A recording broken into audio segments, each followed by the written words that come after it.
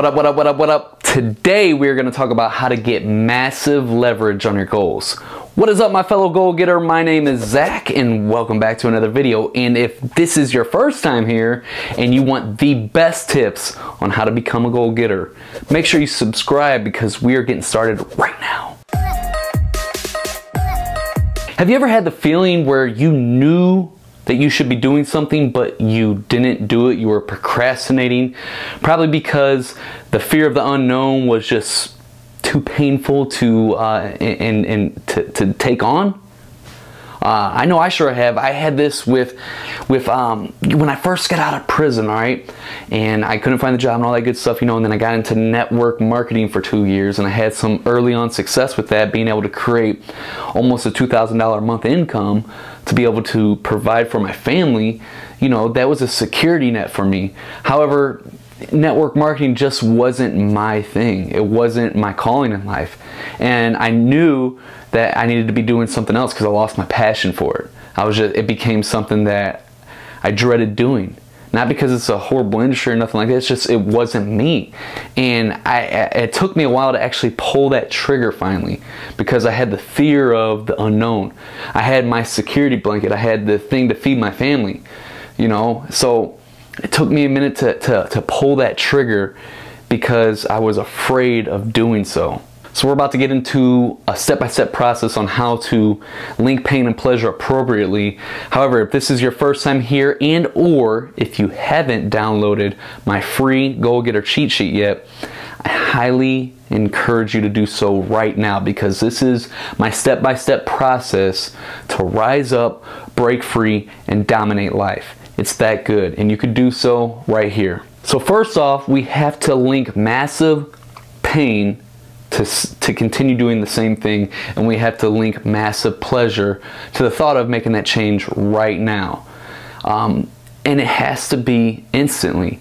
Um, change is not a question of capability. Change is a question of motivation. Are you motivated to make that change right now?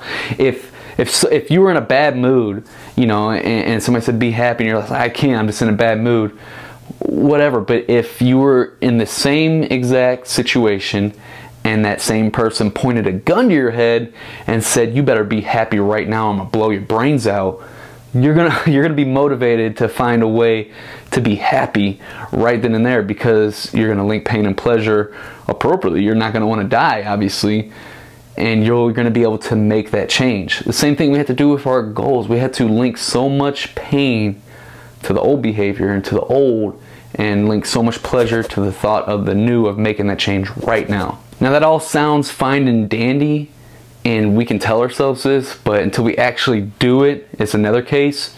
And a lot of times we have to hit that pain threshold is what I like to call it. A lot of people call it rock bottom. Uh, a lot of people, whatever you want to call it, sometimes we come up, there comes a point where it becomes a must and it can't, it's not no longer I should or I want to. It becomes no, I must do this. And sometimes we got to hit that pain threshold.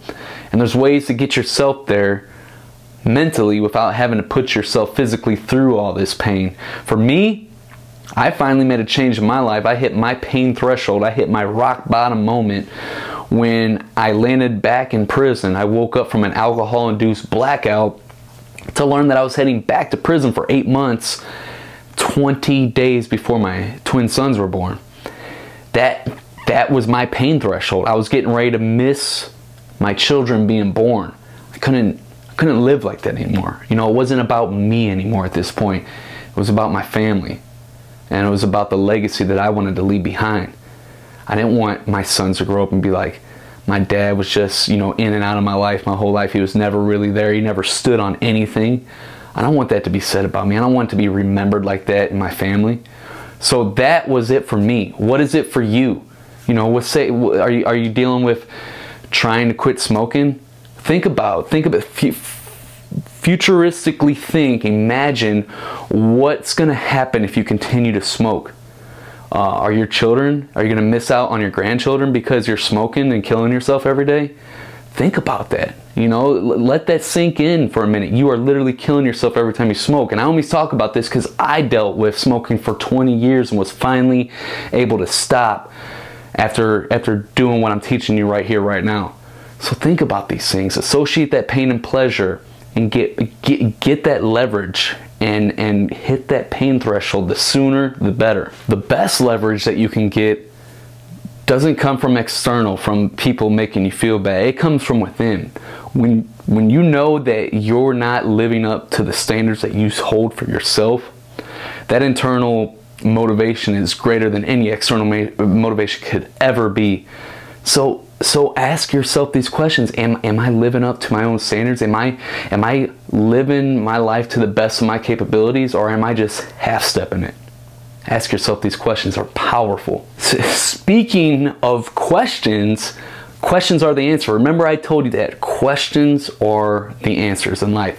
Whenever you're asked a question, our brain is, is engineered to answer it. Wouldn't you agree? Aha, you see what I did there? Like, if I ask you a question, don't you feel a need to answer it? Yeah, of course you do.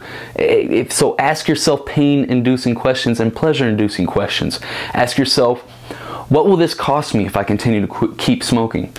Uh, what, what will happen if I decide to stop smoking?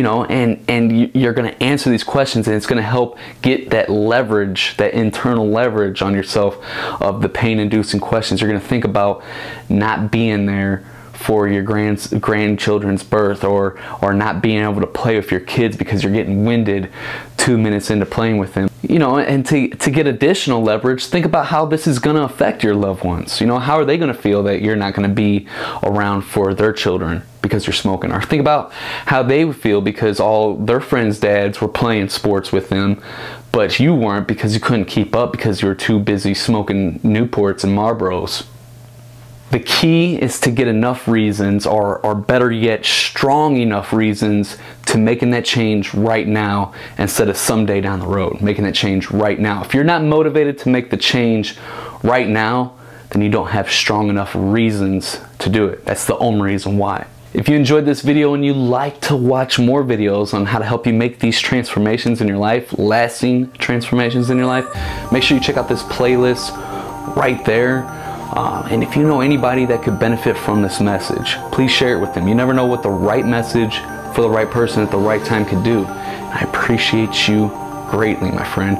Goal getters, keep on crushing it, keep on rising up, breaking free, and dominating life. And I will see you next time, my friend.